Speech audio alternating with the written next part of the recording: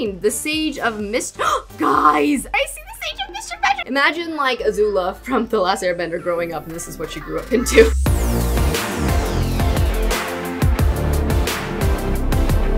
Hey guys, welcome to another episode of the Realm of Magic. So as you can see, we are back at the, I almost said black, we are back at the Glimmerbrook Palace. Oh gosh, that's like a kind of a tongue twister to say a little bit. But I also, you guys could see, changed Corinne's hair because in the last episode it kept clipping on her back and it was very distracting. So I changed her hair a little bit. I really love this hairstyle too, you guys. It's so, it's probably one of my favorite hairstyles. If I could use it all the time, I totally would. Okay, so she is back at the Glimmerbrook Palace and a few days has passed by since the last episode. She has been practicing her magic so, so much. She's back here at the Glimmerbrook Palace because the Emperor wanted to talk to Corinne and King Jared about their plan for everything because they've just been like plotting a lot of things and it takes a lot of strategy and, and figuring stuff out. So it is going to take some time for them to create a plan and be able to follow it and everything as well. Oh no, you guys need to sit back down. So Corinne has actually learned a few different spells. I'm pretty sure, let's see, let's go to her because one of them is the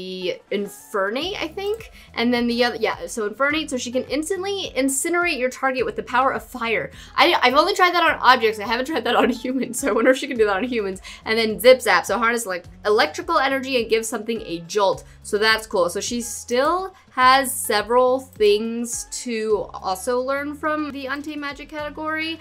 I think she is going to specialize in the Untamed Magic and she also kind of needs to learn mis Mischief Magic too because she is going to be going up against the Sage of Mischief Magic. So it's really important for her to learn that as well. But I think the Untamed Magic is supposed to be the most powerful. So it's probably going to benefit her the most to be able to learn that. So they're trying to derive a plan. They haven't even met the Sage of Untamed Magic yet, so that's kind of a big thing because that's kind of their main person. Like that's who they think is behind everything. They think that like they're trying to be more careful because they don't know if the other sages might be be behind this too. But Emperor Zhao doesn't think so. He's known the Sage of Untamed Magic for quite a while, and even though he is super powerful, he's like still just a really good person and just wants what's best for the realm and for all of the spellcasters and everything. So he's technically a good guy, but they don't know yet if there is something, some sort of ulterior motive for his actions or if it's just the Sage of Mischief Magic that's behind everything. So basically what they're saying right now is that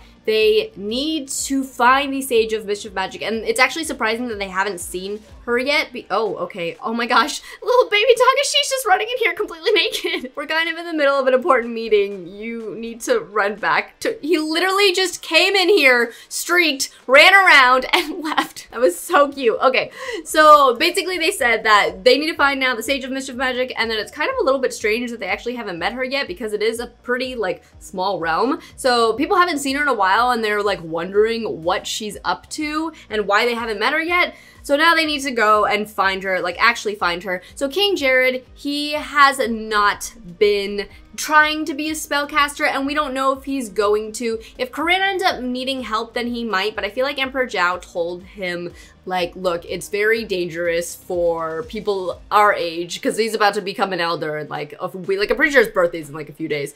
So it's very dangerous for us to like, or people of our age to become spellcasters. It's just like gonna take a huge toll on your physical and mental health. So I would not recommend it. So King Jared was like, well, okay, if, if he says so then. So if Corinne really needs help because obviously King Jared loves his, his kingdom and he's willing to risk his life for his kingdom. So he said if Corinne really does need help, then he will become a spellcaster. But if if not, then Corinne's got it, guys. I really do think she has it. So we're going to let Corinne kind of handle this. But I am going to have him keep accompanying her to the realm for a while. So we're going to have Corinne travel to the realm. And then, oh, I guess, yeah, because she has the stone now. So the stone lets her travel to the realm whenever she wants to. But it doesn't let her bring anybody with her. So when you go to the portal, you can say like travel to the realm with so-and-so. But you can't do that with the, what is it? Like, I, I guess it's just like a magical stone, a Glimmerbrook stone or something like that. So Corinne's just going by herself for now. But I think that King Jared needs to catch up with her and go through the actual portal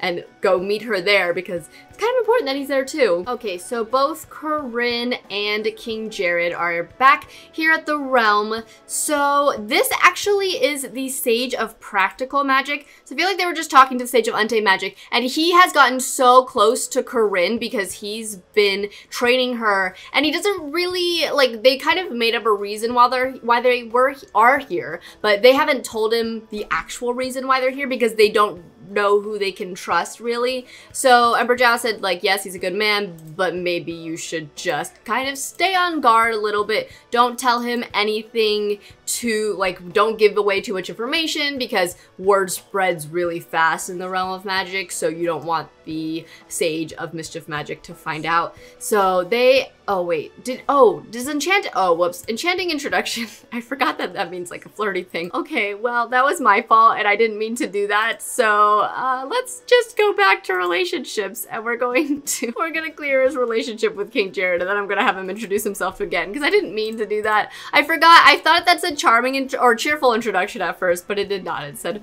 it said enchanting, so that's not what I meant to do. So my fault. No, he loves his wife very much, so we're not gonna have him flirt with someone else. So I want them, I don't want to go to the dueling grounds. I want to go to, yeah, Caster's Alley because I really want Corinne to get a familiar, you guys. I, okay, so, and I had thought about adding, like, creating a team with Corinne and having some other Sims from the Royal Family series join her and help her, but I'm I don't want to bring too many Sims from the Royal Family series in this because I, the Royal Family series is just like such a realistic series to me that it does seem a little bit strange to bring more in here. And like obviously we already have one of our characters in here and has become a spellcaster, but I feel like this is just a kind of a temporary thing. I don't know if this is going to be a permanent thing. So I was debating, I forgot why I was saying that. yeah, oh, I think it's the familiar. So like it'd be a little strange for her to have a magical familiar. So, uh,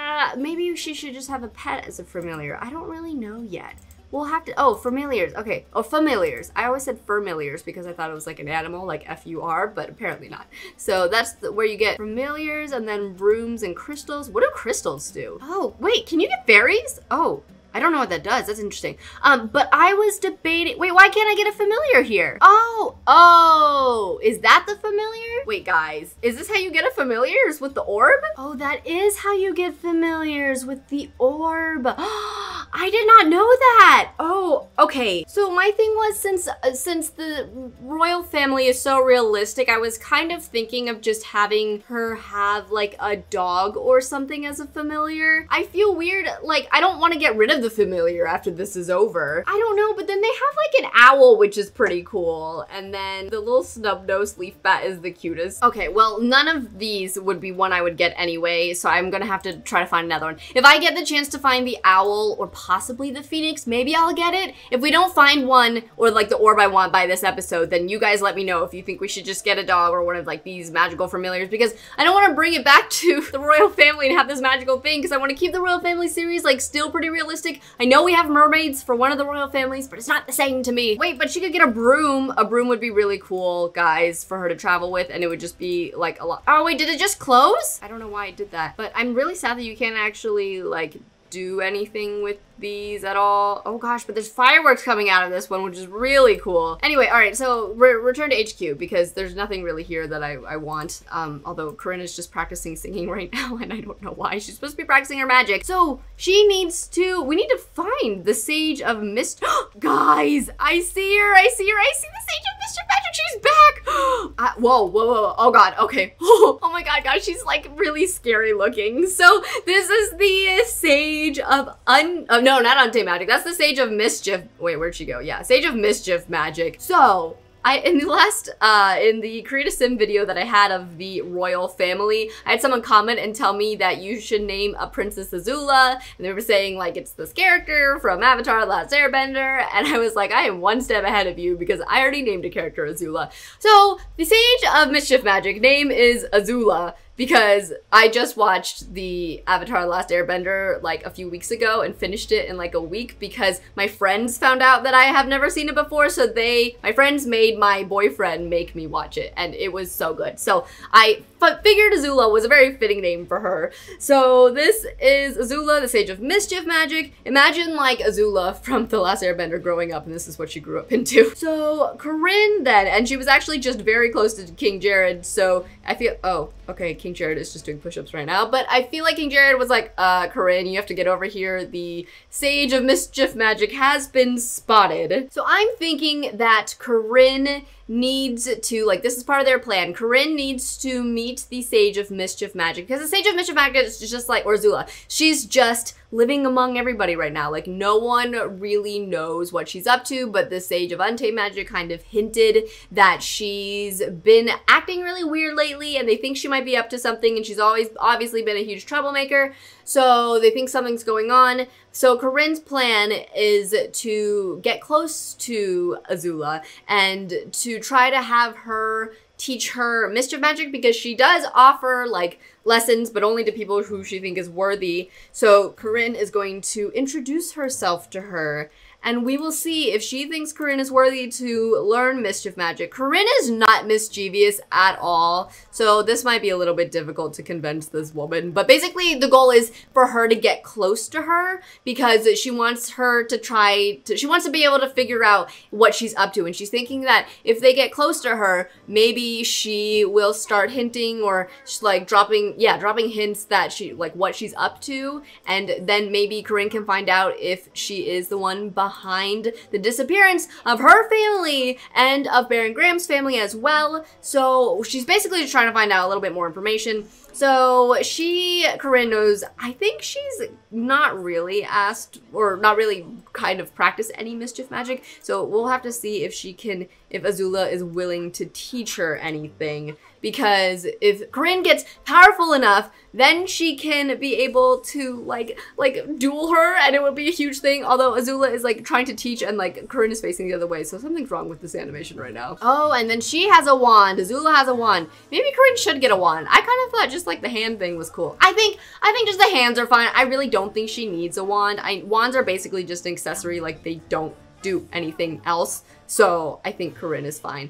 Whoa, guys, Azula just became good friends with Princess Corinne. That was really fast. So apparently Azula trusts her, I guess, because she is, I mean, I don't know, guys. She is willing to teach her. They became good friends already. So Azula seems to trust her. And if Corinne can gain her trust, maybe she can be able to find out some more information. Hopefully Maybe if Corinne shares a secret with her, then maybe she'll tell her some things too. Oh gosh, okay. Princess Corinne has discovered a new spell. Deliriate? Does that make someone delirious? I feel like that would make sense if it did. Okay, deliriate. Reach into a Sim's head and scramble their thoughts. Yes, it does. So what other things? Burg burgliate? So I guess I'm assuming you rob someone. Infatuate makes someone infatuated with you, maybe? So these are like Strangify. Okay, so these are definitely not as powerful as the Untamed Magic ones. Okay, so I do think that, oh my god, they're like best friends now, you guys.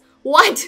that was so fast. That was like really, really strange how fast that was. Okay, so Corinne, she should practice her magic, but should she do that on Azula? I don't, I, I feel like Azula would get really, really mad if she were to like make her catch on fire. So she probably shouldn't do that. But I feel like, okay, I think she's gonna talk to Azula a little bit. I feel like Corinne is gonna say to Azula, like, like, oh, I heard you have been gone for a while. Like, where were you traveling? Where were you? So maybe Azula will tell her a little something. Okay, guys, so Corinne and Azula are now down here on the lowest level of the headquarters, which is really creepy looking. Okay, so I feel like Corinne is telling her, like, oh, I heard you were gone for a while. Where did you go? Like, did you go on some sort of trip? Or like, where were you? Basically trying to get her, oh, wait, there's a familiar orb here.